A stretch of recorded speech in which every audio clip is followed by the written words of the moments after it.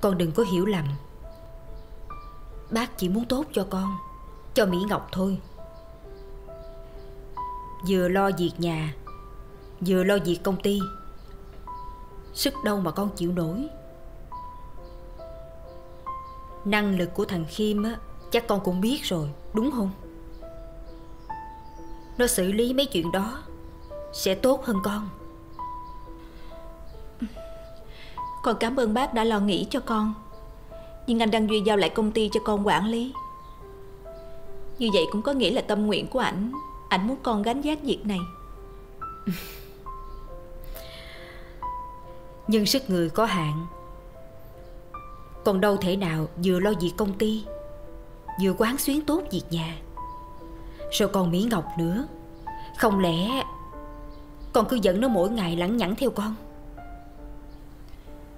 Việc con đưa Mỹ Ngọc ra ngoài Con thấy rất tốt cho em ấy.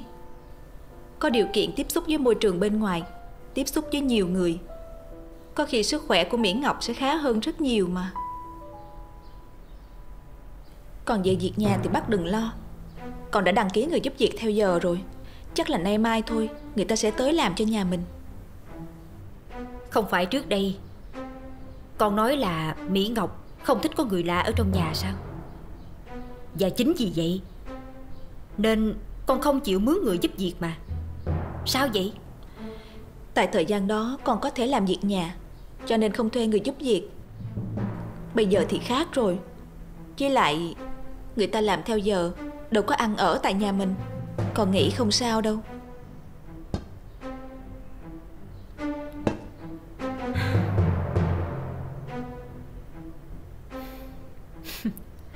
Vì muốn tốt cho con.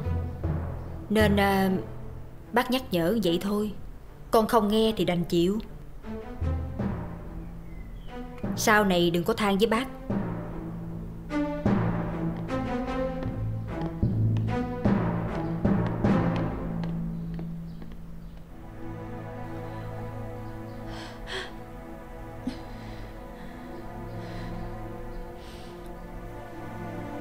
Chắc chắn Họ sẽ tìm cách đối phó với mình. Đừng sợ, Không phải sợ. Anh Đăng Duy nhất định sẽ che chở cho mình.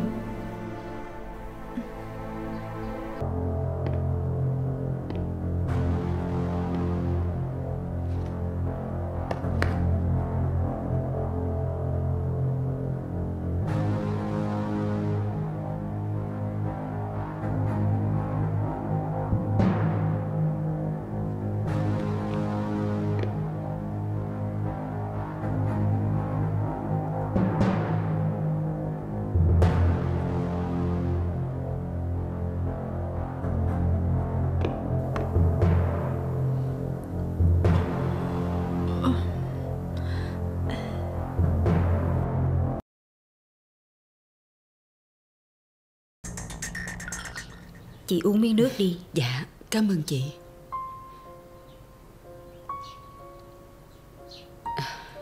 Biết cháu Khiêm là con ruột của chị Tôi mừng quá. Đúng là trời cao có mắt. Cuối cùng mẹ con chị cũng đoàn tụ với nhau. Phải đó. Tôi đâu có ngờ Gần cuối đời Còn gặp lại đứa con ruột thịt của mình. Chắc là Đăng Duy nó thương tôi Thương những phụ nữ yếu đuối trong ngôi nhà này Mới dung rủ cho tôi với thằng Khiêm nhận ra nhau.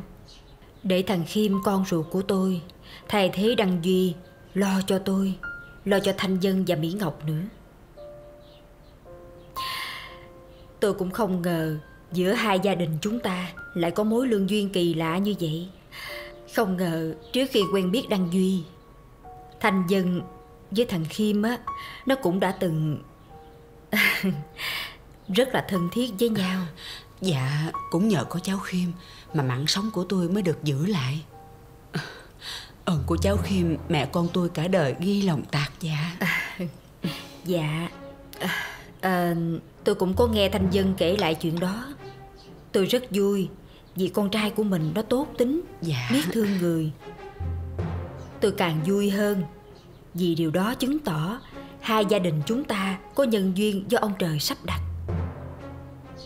Bây giờ thì Đăng Duy nó không còn nữa. Nhưng Mình vẫn cứ giữ tình xuôi gia với nhau nha chị. Thằng Khiêm con tôi Nó cũng có tình cảm đặc biệt với Thanh Dân. Chị nè Chị đồng ý giao Thanh Dân cho nó chăm sóc nha.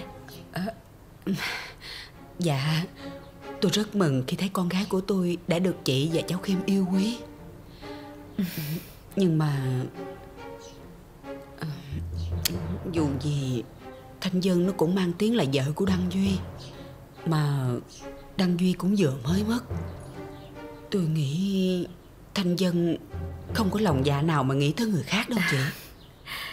Thời buổi này rồi Đâu có cần thủ tiết thời chồng Mà Thanh Dân nó cũng chưa chính thức là vợ của Đăng Duy. Đàn bà con gái sống một mình Thiệt thòi như thế nào Thì chị với tôi là người hiểu rõ hơn ai. Huống hồ gì Thanh Dân nó còn phải gánh vác công việc của công ty nữa. Cảm ơn chị đã thương và nghĩ đến Thanh Dân. Nhưng mà ở thành phố thì nhà ai nấy sống. Còn mẹ con tôi ở quê Người dân quê vẫn trọng cái tình cái nghĩa lắm chị. Chị nói vậy Không lẽ người thành phố Không trọng tình hay sao? Ừ, Dạ không không. Tôi xin lỗi chị.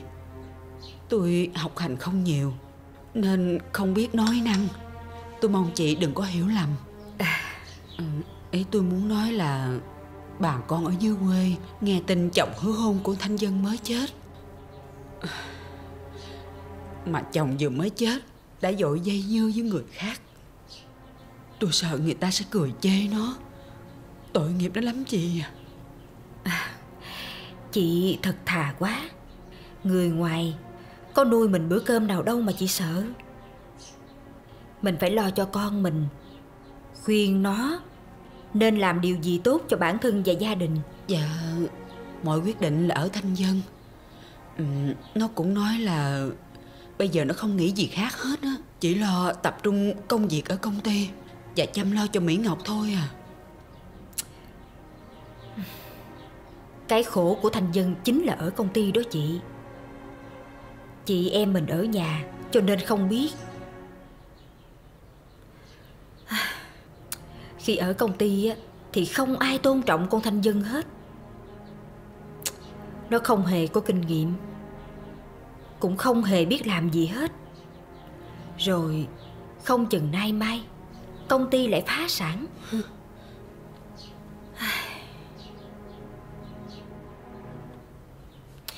Thôi. Chuyện tình cảm của hai đứa nhỏ Thì cứ theo ý của chị. Rồi từ từ mình bàn tới cũng được. Trước mắt Chị nên khuyên Thanh Dân Giao việc công ty Cho thằng Khiêm đó làm giùm. Nó chỉ cần ngồi rung đùi ở nhà Thì tiền vẫn vô túi đều đều. Tội tình gì mỗi ngày vô trong đó Rồi để cho người ta cười chê. Ừ, Dạ.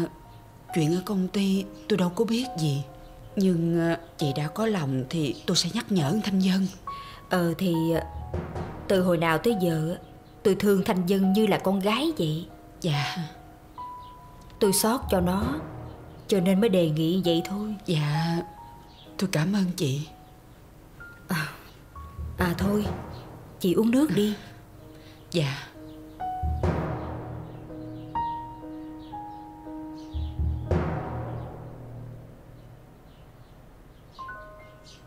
Chúng ta sẽ thu mua vào.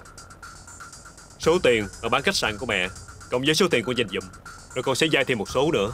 Mình sẽ thu gom cổ phiếu của Phát Đạt Càng nhiều càng tốt. Mấy chuyện làm ăn thì mẹ không rành. Con tính sao thì mẹ biết vậy. Con cần tiền Thì mẹ sẵn sàng bán khách sạn đó để đưa cho con.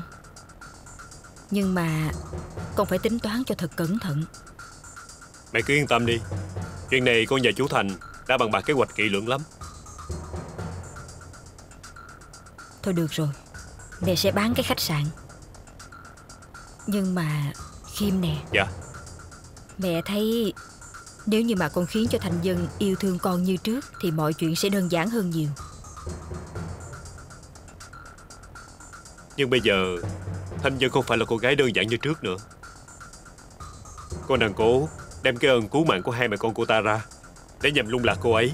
Nhưng không chắc là có được kết quả như mong muốn hay không.